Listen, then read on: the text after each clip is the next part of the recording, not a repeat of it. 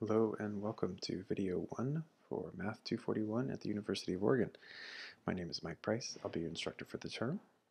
Here is your textbook, Calculus for the Business Economics, etc. This is the brief edition, um, although if you manage to get the expanded edition uh, on the cheap, then that's fantastic. That'll work just fine. It has additional content that we don't get to in Math 241 or 242. So it'll work out great for you. Our first section is functions. That's 1.1 from the text, so it should be pretty easy to remember. Here are our learning objectives. In this first video, we're going to accomplish the first one, identify domain and range of a function, and evaluate a function from an equation. So, first, the definition. You may have seen definition of a function in a previous course. Ideally, you have because College Algebra Math 111 is a prerequisite for this course, and in that course, function is defined, but by way of review, function consists of a set of inputs, and that is the domain, set of outputs, which is its range, and then a rule, which has this special condition on it. So the rule connects inputs to outputs, but it has to do so in such a way that an input is guaranteed to go to exactly one output. So perhaps a real world example of this is that if you put bread into a toaster, so bread is your input, the function machine is the, the toaster in some sense, and then the output is the toast that you would get. Now, if you imagine that you put in bread and then you have to wonder whether you're going to get toast or jam out of your toaster, that's not quite the predictable machine that we would hope. So if you have a function, uh, you, it must be that given a particular input, you know exactly what output would come out. So we put in bread, we get out toast. Consider another real world, similar example perhaps, an incinerator if you give an incinerator some input, it's basically going to always return something like ash, basically, when you're done. So you put in a chair, you get ash. You put in a table, you get ash. And it seems like that might violate this condition, this uniqueness condition on a function. But that actually doesn't. It's still a predictable machine. If you put a chair in, you know what's going to come out. If you put a table into the incinerator, you know what's going to come out. The fact that what came out is the same for both of those is not a problem. It's still a predictable machine. Another informal example, perhaps, we might say the quality of a, a, coffee is a function of its price. So here, what we're really saying is that if you want to know what the quality of coffee is, you could use its price as an input.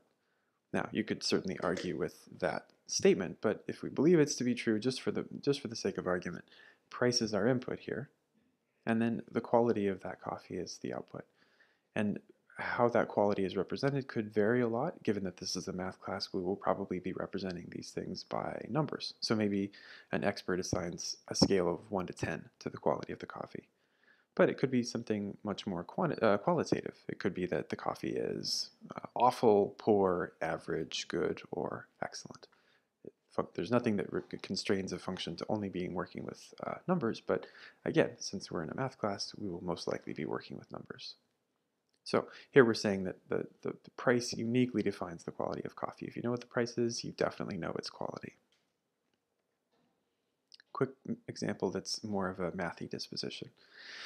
So we've got an equation, uh, y we could view as the output and x as the input. And then the rule here, since it looks like 3 times x plus 1, written in words, that would be triple whatever your input is, that is multiply it by 3, and then add 1 at the end uh, with a specific value of x, you could say at x equals 2, um, then here's our output. y would be 3 times that x value. Now that's 2. Uh, and then we add 1 to that. So here's our tripling our input. We add 1, and of course that's 7. And then a note, of course, if we give a value of uh, x in this case, we're not going to have to guess at multiple y values. There won't be multiple values that come out the other side. So we put in 2, we for sure get 7 out of this function. So uh, a slightly more involved example. So this function is, as you can tell, more complicated than the one we had before, but it's similar in that it's defined by some expression. x minus 3 in the numerator, x squared plus 5 in the denominator. We divide those two things. So we have a few tasks here. Find and simplify f of 5 is our first one.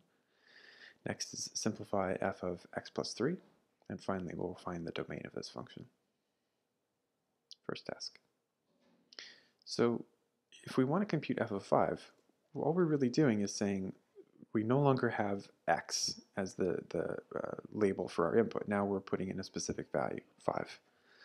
So we go back to our original function, we replace x with 5, and if you recall, here's where our x used to be, right there and right there. So now we're replacing with the number 5. 5 minus 3 is 2 in the numerator.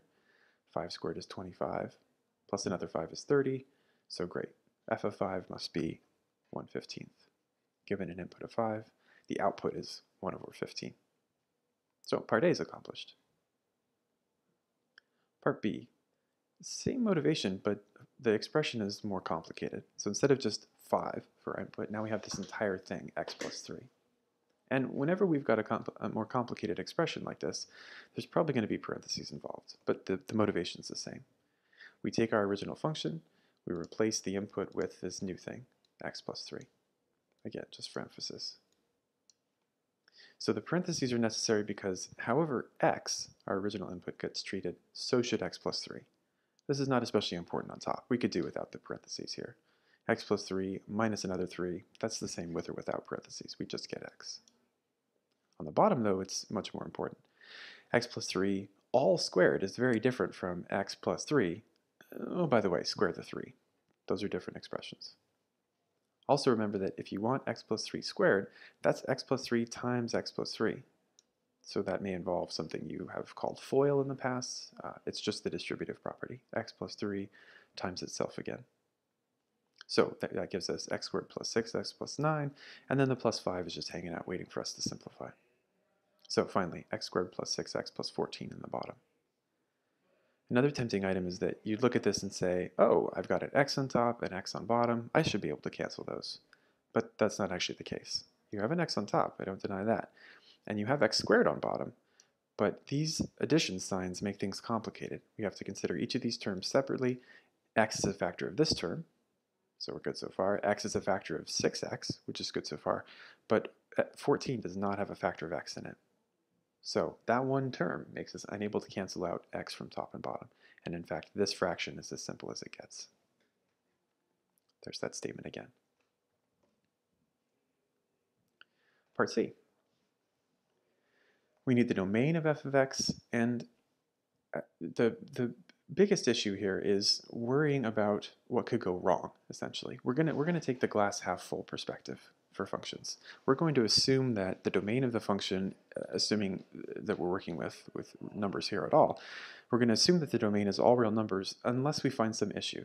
So some classic areas where this might occur would be with square roots. Taking the square root of a negative number causes you to have a non-real number. And division, which is I think the one most important to us here. If we divide by zero, we get something undefined as well. So the greatest concern is division by zero.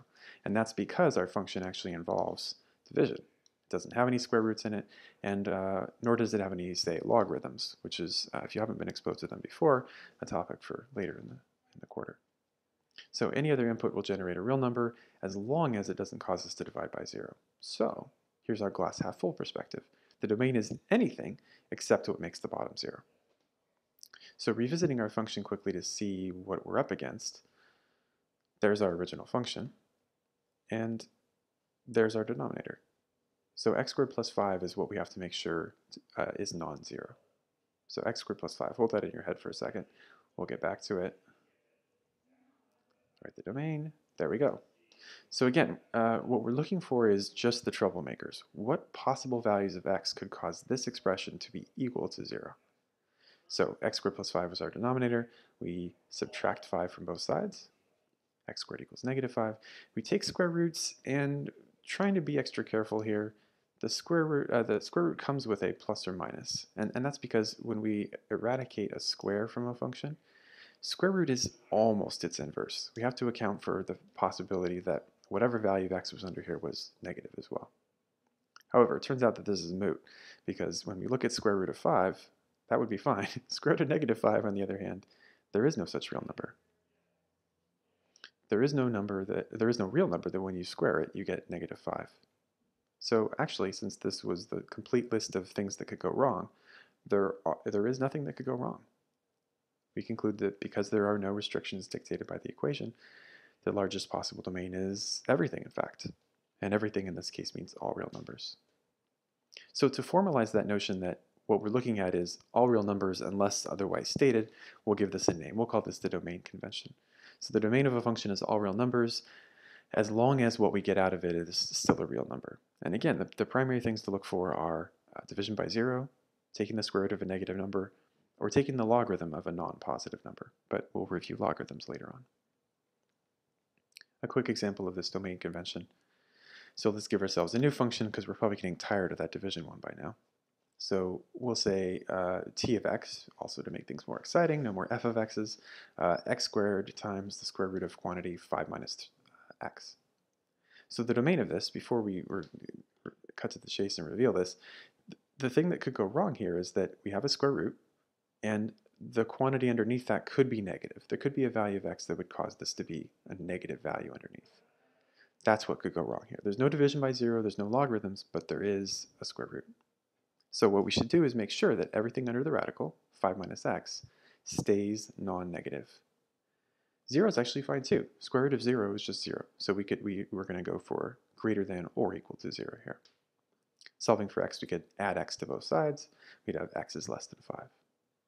There's our domain. So, because the only real numbers to avoid as inputs are those that make the radicand negative, our domain must be all real numbers less than or equal to 5. That's the end of video one. Our next topic will be the learning objective associated with function composition. Thanks for watching.